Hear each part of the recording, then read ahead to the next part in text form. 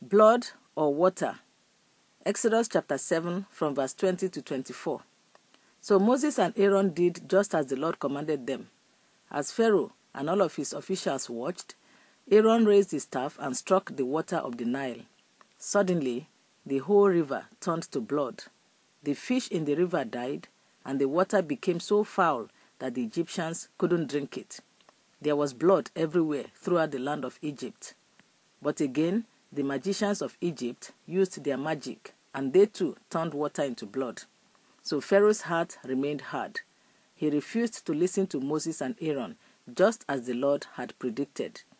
Pharaoh returned to his palace and put the whole thing out of his mind. Then all the Egyptians dug along the river bank to find drinking water, for they couldn't drink the water from the Nile. That's the New Living Translation. The Egyptians couldn't drink the water from the Nile River.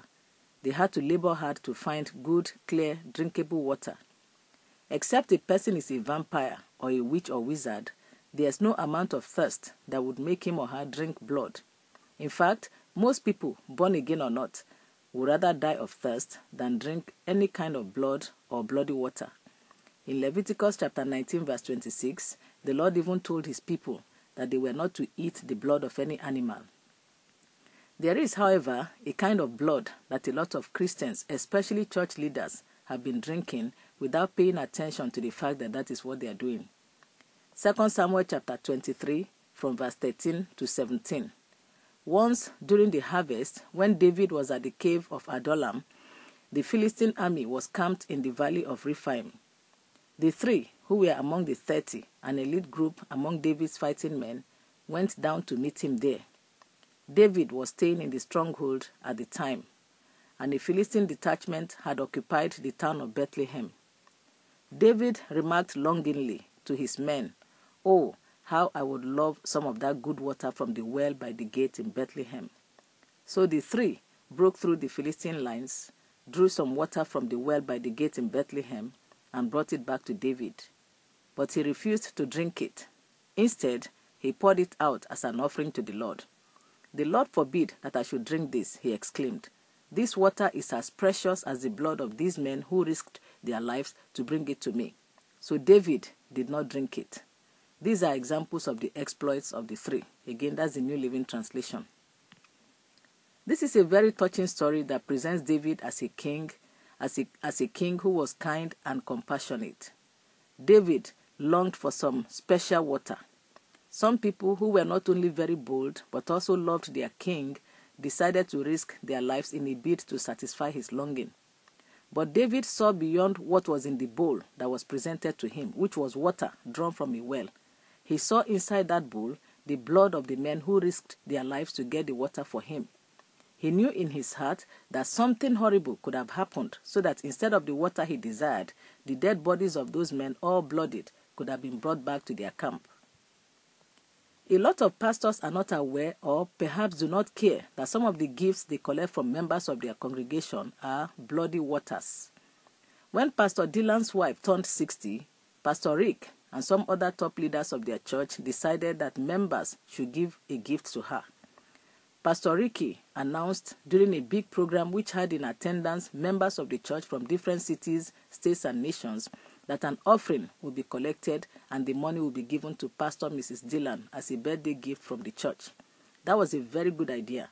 After all, Pastor and Pastor Mrs. Dillon had been wonderful spiritual parents to many. And Paul said in 1 Corinthians 9:11, "We have sown spiritual seed among you. Is it too much if we reap material benefits from you?" That's the Good News Translation. Pastor Ricky's instruction to the church members was quite in order. The only snag was that he announced that because Mrs. Dillon was turning 60, the least acceptable amount of money people should give her was 60 in that currency.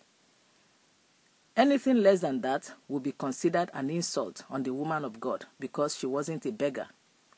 What Pastor Ricky seems to ignore is the fact that among the people he was asking to give, there were probably some who paid for their transportation down to the meeting place and for hotel accommodation with borrowed money. Some were probably unemployed and struggled hard to get there in the hope that God's anointing on Pastor Dylan would break yokes off their necks and open doors of employment for them. Some attendees probably didn't even have that much money saved up anywhere. Why would anyone even tell people how much to give as a gift? What happened to 2 Corinthians 9, verse 7? You must each decide in your heart how much to give, and don't give reluctantly or in response to pressure. For God loves a person who gives cheerfully. That's the New Living Translation. Many marriages are on fire because one party, being deeply convicted by their pastor's request for money, gave to the pastor or the church a gift that put a big hole in the family's purse, and the other party is not happy about it. And even when the pastors of these feuding couples get to know the cause of their quarrels, it never crosses their minds to return the money so that there can be peace in the home. How wonderful it would be if all servants of God, and in fact all Christians, could be sensitive enough to know when the Holy Spirit permits us to accept a gift and when He wants us to lovingly and politely refuse it. Sometimes the Lord may even want you to accept a gift and then repackage and give it back to the giver with something extra. But greed makes some people turn deaf ears to any prompting of the Holy Spirit along this line. If you are in the habit of talking poor, struggling people into giving to you, to your ministry, or to other servants of God who don't even need their money, you are drinking their blood and you need to repent. May the Lord help us in Jesus' name. Amen.